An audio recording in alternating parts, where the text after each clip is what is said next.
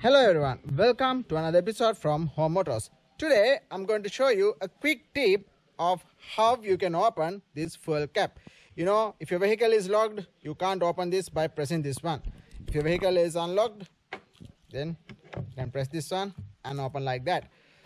But sometimes this door might not be able to open even though if your vehicle is unlocked let's say you are driving on your way home you want to put some fuel you're going to the gas station and try to open it. It doesn't open.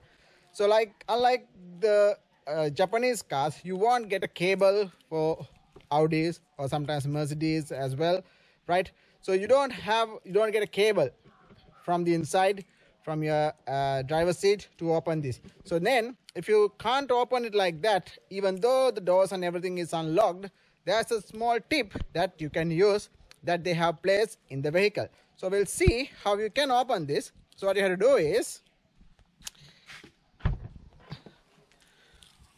open your hood and then go to a apartment like this and you would be able to get a red color cable like this. It's a plastic cable right?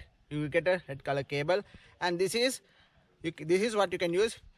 You can pull it towards you don't pull it too much because it will not open this right? Just pull it towards you like this. Still you can see it's not working right? So just pull it towards you a bit. That's enough. Give it a try. Here you go. You can open this. So there's a quick tip guys. You can use it. And once you lock the car it will lock door again. But if your car is locked already but this will keep unlocked. See my lock doors are locked still but this one keep unlocked so there's a quick tip guy. You can use that one to open your fuel cap if your fuel cap can't or be open from by just pressing it. Okay? So if this is helpful give us a thumbs up and consider subscribing and join home autos to watch more videos that how you can maintain your car at home.